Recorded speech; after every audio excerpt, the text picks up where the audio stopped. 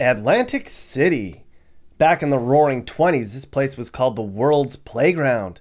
The beach, the boardwalk, the gambling. There really was nothing like it. However, this city has fallen on hard times over the last couple decades. It has a really bad reputation for crime and blight and is suffering from a huge loss in tourism. It's a living, breathing decay in progress happening right now in front of us. So, of course, I had to see it, right? So I went there. The day I went to Atlantic City, it was a bright and sunny day, but there was a cold, stiff breeze. It was in late February of 2022, and it was as bad as I expected. Here's what I saw drugs and bombs, rundown hoods, and a lot more. This is an Atlantic Shitty tour. Now, we're going to spend a lot of time looking at the good and bad parts of Atlantic City. well, there really isn't a lot of good here. Once you're a block from the casinos, it's really run down. Even the streets near the casinos are really shady. Right now, we're on Pacific Avenue. This is the main drag where most of Atlantic City's casinos are located. It's pretty sketch here. There's strip clubs, ghetto bars, liquor stores, and people standing around that look like they're doing something wrong. You'll see homeless people, addicts, drunks, rowdy teens, and the mentally ill. It's really sad. You probably wouldn't see somebody like this down here, though. You'd see somebody like that in Portland. Come on now. The liquor stores along Pacific Avenue get robbed. Tourists get robbed here all the time. Actually, most of the assaults that take place in Atlantic City happen right here, within viewing distance of these rundown casinos. This street's known as Pimp Alley. You can imagine why. A lot of the tourists that come to town don't leave this general area because a lot of the city's a dump. So they can get all their entertainment in one place. Within blocks of these casinos are people taking drugs or having sex out in the open. You're going to see people peeing on sidewalks, and you might be bullied into giving somebody spare change. There's cameras all over that the cops monitor 24 7, and they've had to hire more cops to watch over this part of town. That is, if they can even find cops who will take the job. But overall, if there's a best street in Atlantic City, I guess this would be it. Now let's go one street over. Now we're on Atlantic Avenue, one block further from the boardwalk. This street is bad news, pal. It too is super sketchy at all hours, but at night, it's a horror show. It's dark and seedy, and people are doing terrible things in the shadows. Most people refuse to walk around the street at night. Even driving through here at night's a bad idea. You don't want to get caught at a red light on Atlantic Avenue at midnight. No way, no way. There's no wonder why Atlantic City got a bad reputation and why hotel bookings are down. This place used to be amazing. For a long time, it was the only place to offer legal gambling outside of Nevada. It's a short train ride from New York City, and people from all over the Northeast used to flock here every single year. Now there's casinos in Pennsylvania and Connecticut, or people can just fly down to Florida, Myrtle Beach, or Virginia Beach.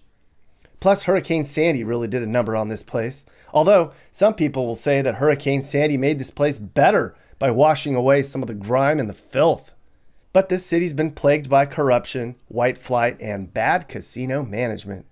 Plus, what are the kids going to do here? You can't let them out of your sight. Things are so bad here now that they actually blare a siren at 10 p.m. every night, which means kids get inside. They were kinda optimistic here for a while. There were some fancy new casinos that opened up, and crime was going down just a little bit. But today, it's clear that a lot of state dollars have been funneled away from here and directed into North Jersey.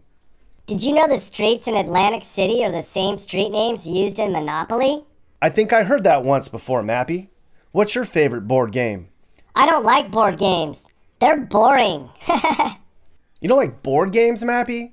Then you're going directly to jail. Hey!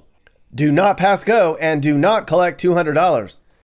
Doesn't play board games. Who doesn't play board games? Well, this is a good time to transition to the boardwalk. Get it? The Atlantic City boardwalk isn't that bad during the day. There's a lot of stuff to keep you entertained for an afternoon. This video was taken in February, so it was pretty empty, but I caught a small glimpse of what it's like on the boardwalk at night. There's homeless people all over and mentally ill who wander around. You definitely have to watch your back on the boardwalk at night here. It's sad to see the world's first ever boardwalk in such decline. But hey, at least the ocean views are pretty, so that's cool. Okay, so now we're to go to the bad side of town where all the dangerous neighborhoods are. Let me just say that practically this entire city's bad. There's some okay streets, but I haven't really been to a place before where there wasn't at least one large, nice part of town. Everything in Atlantic City, practically every block, is below average rundown.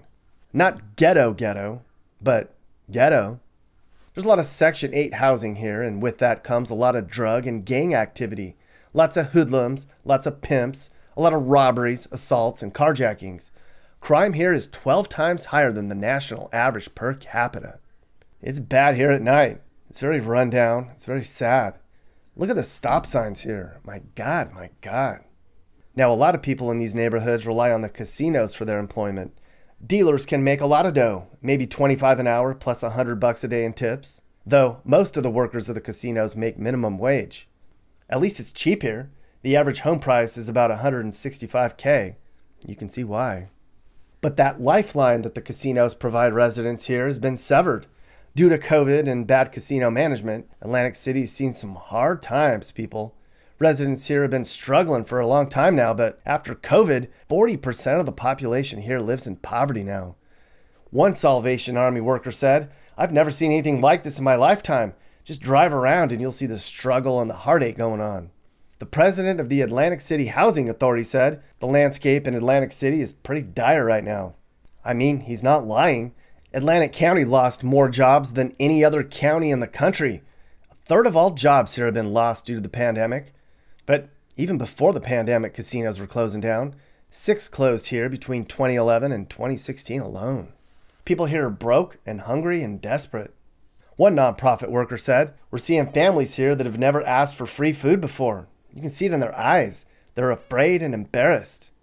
And people here are worried that the homeless and poverty problem here are going to get really bad when more people get evicted. Sadly, there's a multi year wait for low income housing here. AC is a dumping ground for ex felons, needle exchanges, welfare recipients, and sex offenders. Just look at the list of all the sex offenders who live here. What the, what the? It's sad, but this is no longer the Atlantic City we knew growing up. Atlantic City certainly isn't unique, though. There's a lot of former great places in this country that are going through this same fate right now.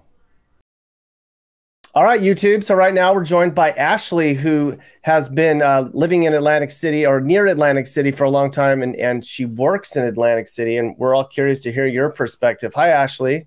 Hey, how are you? Good. Good. Yeah, I was just in Atlantic City about three weeks ago. Um, it was kind of dead because it was winter time. Right. Um, you know, it was about as as as rough as I kind of expected. You know, I've seen far worse looking areas. Um, you know, it's it's rough. There's a lot of you know, riffraff milling about. Now, I did not go down to Pacific Avenue or Atlantic Avenue at night. I got stuck at one of the casinos and was on a winning streak. So I didn't make my way down near the boardwalk or anything at night. I hear it's really bad down there at night. Um, what what's your perspective? You've been there for a long time. How's how is it now? How has it changed? So in some ways it's actually gotten a little bit better, I think. So I remember going down in the 90s and the 90s was rough. Uh, I remember being a kid going, you know, driving with my mom through the city and even just driving in broad daylight, you know, you would feel uncomfortable. Um, it's not that bad anymore. However, even in broad daylight, like there's times when I go on the boardwalk and I feel uncomfortable even on the boardwalk. Um, even yesterday, there was just a stabbing right in front of the Tropicana um, in the afternoon or in the morning. So, you know, I feel uncomfortable, not as uncomfortable as I once did. There's a lot of homeless. Um, they're kind of hidden pretty well. You have to know where to look. There's a lot of drugs, but this is in all cities, you know, across America. Um, yeah, but I mean, personally, for me, being a woman, though, especially, I think working there, you just have to be aware of your surroundings. Um, I told you a little bit, but I was also on my way to work one night at 6 p.m. on Father's Day, and there was a shooting like minutes before I was right there. So you know, it's it's rough, but it has gotten a little bit better. Mm-hmm. Yeah, I mean, uh, in the '90s, a lot of America was pretty rough, um, right. and you know, crime kind of came down, um, and so you know, it's good that it's doing better um, a little bit. But you know, I hear that you know the casinos have been struggling because of um, a, a, change in, I guess, a, basically people's tastes have kind of changed a little bit, and then and then the pandemic came right when Atlantic City was trying to kind of improve a little bit. There were some new casinos that opened. There was a little bit of excitement, and then COVID happened, and like a bunch of people in the area are like struggling. They're um, it doesn't look like it's really bounced back yet. Have you noticed that at all? So, right in the beginning of COVID, obviously I did. However, now, I mean, the casinos are pretty busy. It depends which one you go to. Some of them I would say are probably struggling, you know, still from COVID and everything going on. But uh, like, I don't know if you got to check out um, Showboat. Did you check out Showboat? I, did not. Should I? uh, that that one I would say is struggling to kind of find its footing in in what it even wants to be. But uh, some of them they're picking back up a little bit. Mm-hmm. Yeah.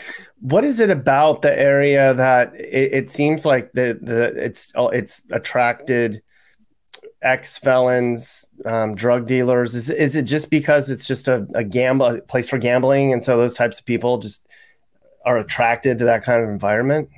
Sin City, it's a little mini Sin City. You know, I think if you look at the history of Atlantic City and what it was founded on, it was kind of founded on, you know, gangsters and drugs and all of that. So I think through the years, it's just unfortunately carried that, uh, you know, carried that through. Mm-hmm. Yeah, the neighborhoods. So, like, you know, first of all, so down by the down on the Pacific and, and Atlantic, kind of like down by the casinos. Um, you know, lots of lots of people that were, you know, hanging around late in the day that looked like they were. I, I think I saw somebody peeing. Um, it, you know, I, we're, we're, all adults here. That's not the worst thing. Um, but you know, you you could kind of sense when you're in a place like there's some bad stuff going on down here, and I wasn't even down there at night. Um, yeah. Is it dangerous for like, um, you know, tourists and folks that are staying down there to, to kind of wander around out down there at night? I would not wander around. I mean, even me, I don't venture off the beaten path. You know, I stick to the casinos. I stick to maybe the boardwalk directly in front of the casinos. I wouldn't, you know, say for tourists to go off of the beaten path and go too far away from the touristy, you know, sections. I don't mm-hmm. feel comfortable. Mm-mm. Yeah. Yeah. I mean, you, you definitely, you see a lot of, there's a lot of mental illness. You know, like I said, there's a lot of people that you can see that are clearly on drugs. So, you know, it's, it's uncomfortable. What is the city have any plans to try to do anything? Is there like a, a, a plan? Is there, do they talk about anything that they're trying to do to fix things, make them safer, better? no, I don't really see too much changing. And if anything, I see less police on the streets as well. You know, so no. mm-hmm. I hope it does. You know, I hope it does. And like I said, I, I've seen some improvements. Um, but you know, it's not it's still on, you know, it's not safe Mm-mm. fully.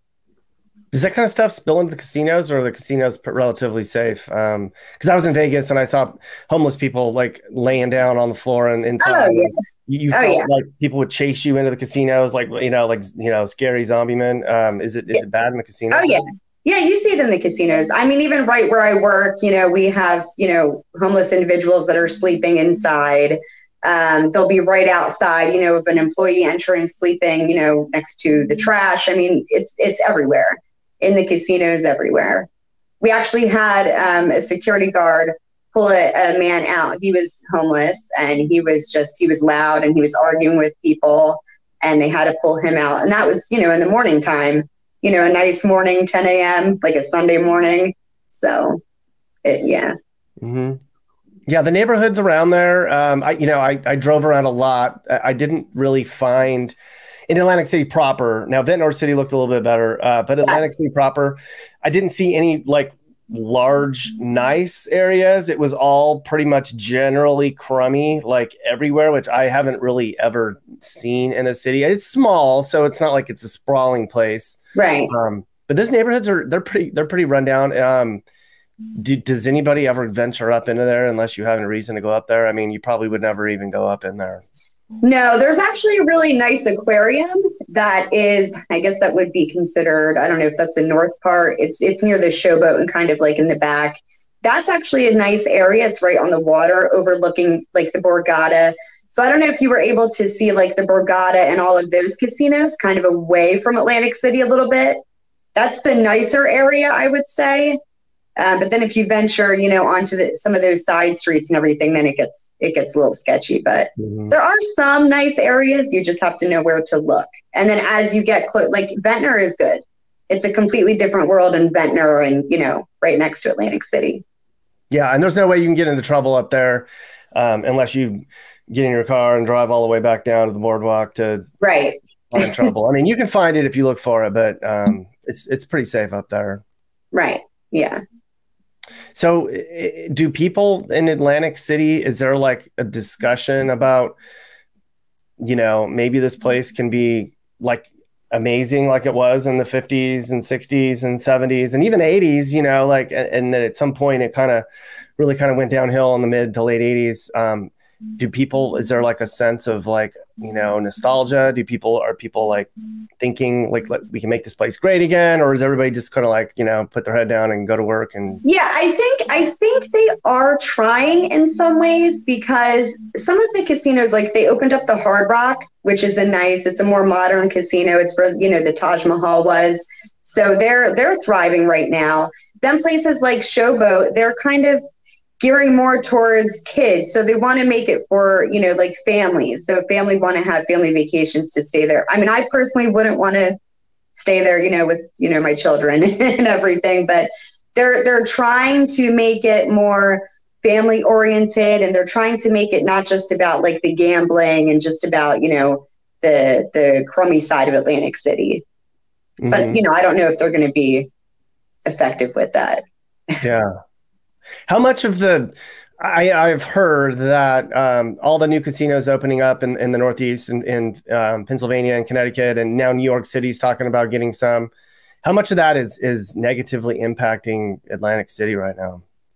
um maybe a little bit however online gambling is booming right now um so I find that because of that, it's actually it's benefiting Atlantic City in general because people can just sit at home and they can gamble. They don't even have to go to the casino anymore. So in that aspect, it's it's helping. Helping because the casinos are still making money, but people don't have to go there. Yeah, yeah. But like for folks that work at the casinos, that doesn't help them out though, right? No, I mean unless unless you're an online dealer, you know, which Oh, there's online dealers. huh? There, there's online dealers. I'm an online dealer. oh, so okay. Well, so I always pictured online gambling. Okay, I've played the slots online before, but Right. so I thought you went into a room and it was like a computer that would like spit the cards out. And I mean, No. Oh, there's- There's oh, so- people. I'm one. Yeah. Okay. So you're so do do you see you and everybody else's face, or is it just you? No. you- okay. So I am sitting in a studio and I have a camera on me and I see people's usernames pop up.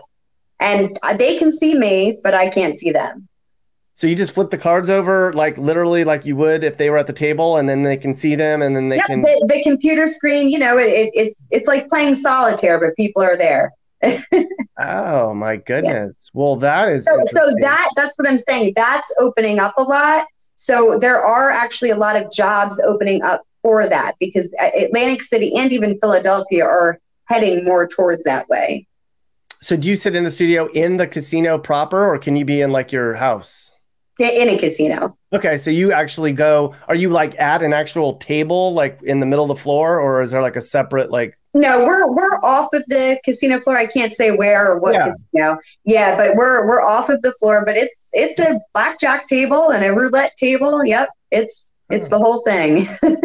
Well, that is the one of the most interesting um, jobs that I've heard of. uh, it is interesting.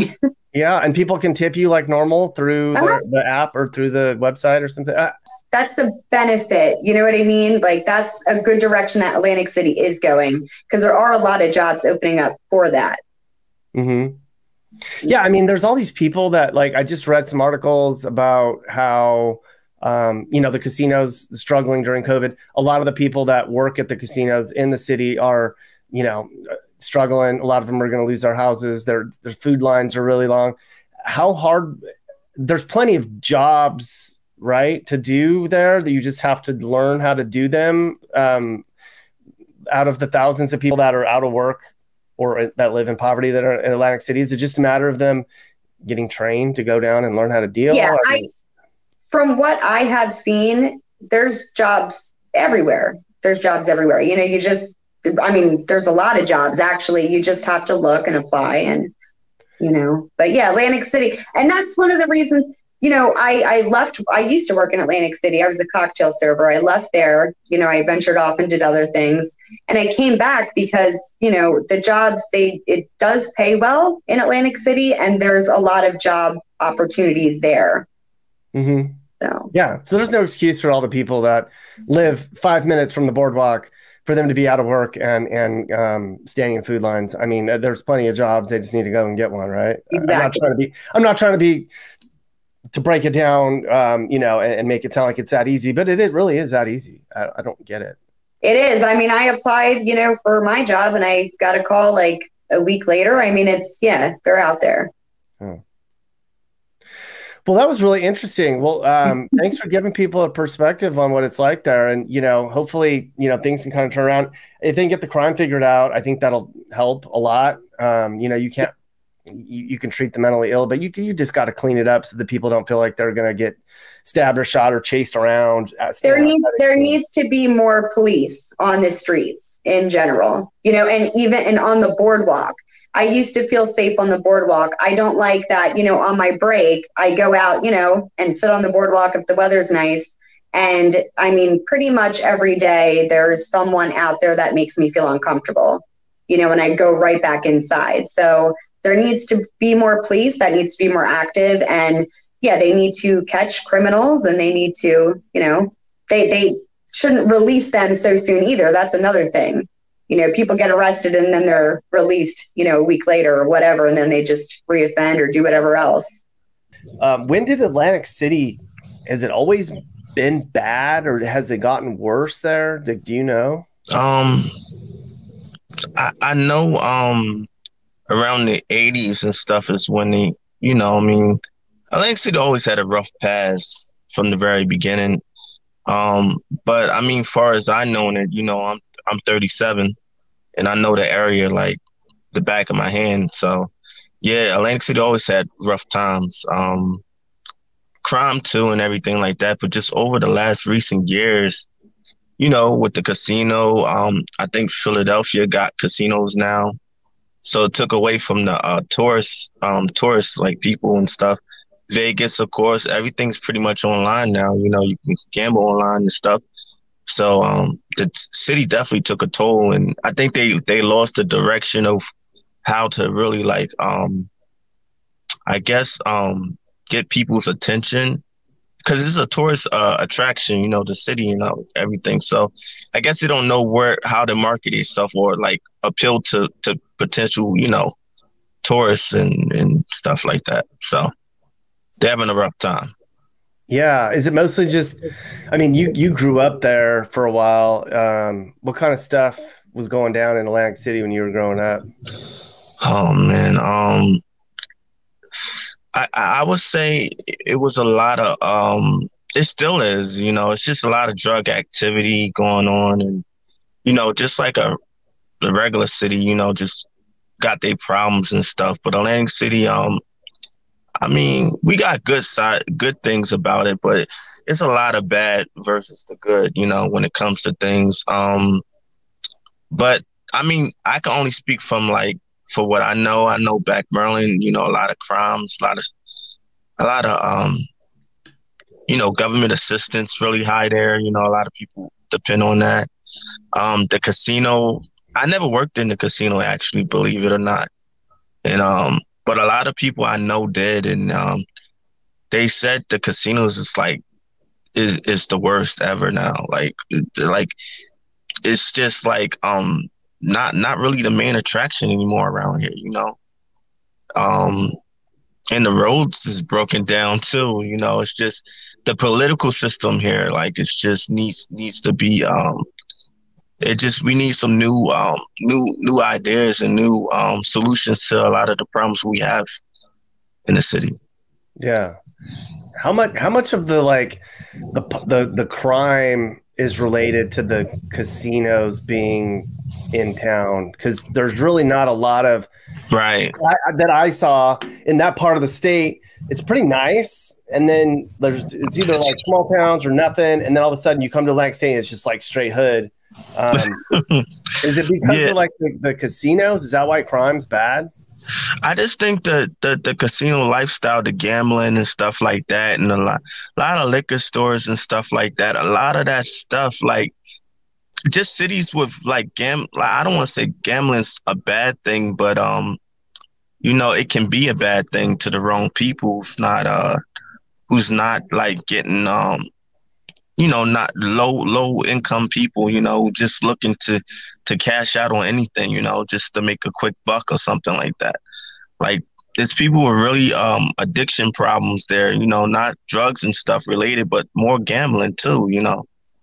So um like I said, a lot of locals go to the casinos and and gamble their money and, and it's just based off that same routine. It's like get more people in and, and to gamble and stuff because they need money because nobody else is coming here too much. You know, we have tourist people who come here, but other than that, I mean, it's it's pretty much downhill from there. And um, um, Marty Smalls um is running it now. He's the um he's the uh, mayor of Atlantic City, I believe. Yeah. So um he he got his own things going on in the town and stuff. A lot of uh shady back deals and stuff like that going on you know, pocketing some of the money and stuff like that. It's it's in the news, so this this is not nothing that I'm just making up. You can read about it, but um, but yeah, it's it's just like I said, the city is lost how to direct how to how to um how to cope with the changes going on in the new era of um technology and online gambling and stuff. So, Mm-hmm. but these problems existed for a while though, like um, even before the online gambling and all that stuff, and before Philly started getting casinos and stuff, um, you know, it's just the same mentality over here, and nobody can really get ahead, really too much. Um, a lot of people are are um, trained in thought that the best place to really get money is here is the casino. So a lot of people work at the casinos looking for, you know, the the money just looking for more money and stuff. But at the end of the day, it it it, just um it's a bad atmosphere. I, I believe, in my opinion. Mm-hmm. Yeah. So, what was going on in your house? Because you got out of there. You got a good head on your shoulders. You, you're, you know, you guys got out of there for too long. What did, what, what did you guys, your folks, like, you know, were Yeah, yeah. able to, like, I mean, Um, just just knowing, just knowing it. You know, just it's one thing to live it, but just knowing it and just realizing, just looking around and seeing the destruction go on and the crime go up and stuff, and you know, just just wanting better. That's all. You know, um, like I said, my parents took us out, um, you know, early, and uh, and that's what I wanted, you know, for my kids and everything too. You know, um, it's just a different scenery, different lifestyle because um the one there is not this, you know and it could be it could it could be changed and I'm not saying that Atlantic City is always going to be that way maybe maybe change might come but um it's definitely needed right now you know um but yeah we just wanted to get out and and and we I, I just know like from my parents and stuff I you know because I, I went to EHT that's Egg Harbor Township that's where I graduated from. I was out there from 12 until like 21 and um it was pretty good out there you know what i mean? It was it was better than the cities it's more like rural country kind of like more trees and stuff less buildings but um definitely um a better upbringing than than in the city. Is there, what direction do, do people that still live there, are they like optimistic that Atlantic City can turn around and be awesome again? Or, or most people not the like- people i met no. Unfortunately I, I meet too many people that felt that way. I mean i'm sure it's people there that that feel like the city might come, can come around but you count on on on two maybe one hand. Like it's not too many people who think that i know i know a lot of people want to see better though they definitely want to see better um but uh but yeah, I mean, I, I would like to see better for the city, but like I said, the the politic, the politics, and and you know the mayor and stuff, things got to be changed locally, you know, in the area for things to take great effect because, you know, that's who's running it. You know. Are you looking to move and need advice? I do consulting. That's right. I'll sit down and talk about where the next perfect place for you and your family should be. I do it all the time. Together, let's find you a new home that's safe and checks all your boxes.